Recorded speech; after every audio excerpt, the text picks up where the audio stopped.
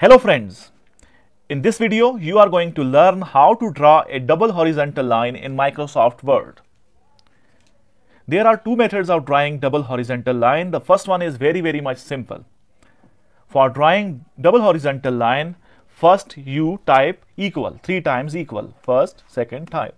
Now 3 equals have been typed, now press enter and you can see that double line has been created. But there is a problem with this kind of line. You cannot format this line. You cannot change its color. You cannot make it bold. If you want to create a line which you can edit, for this, apply the second method, click on insert, then shapes, after that click on line. Then draw a line. For making it straight, press shift after pressing shift, the line will be straight. Now, as this line is very thin, I will make it a little thick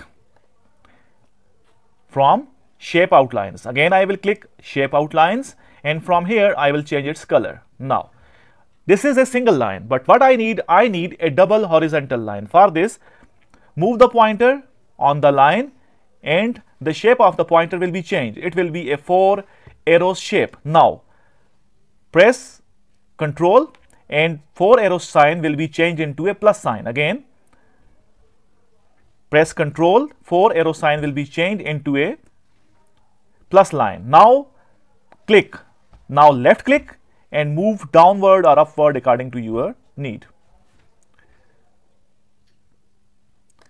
Now you can see that a double line has been created. This is how you can create a double line in Microsoft Word with the help of two methods. If you need a simple double line, you can create it by typing 3 times equal and then enter. And if you want to create a line with some other colors or thickness of your own choice, then you will have to do it from insert menu. If this video helps you in any way, please subscribe my channel and hit the like button. Thanks for watching. Thanks for your time. Goodbye.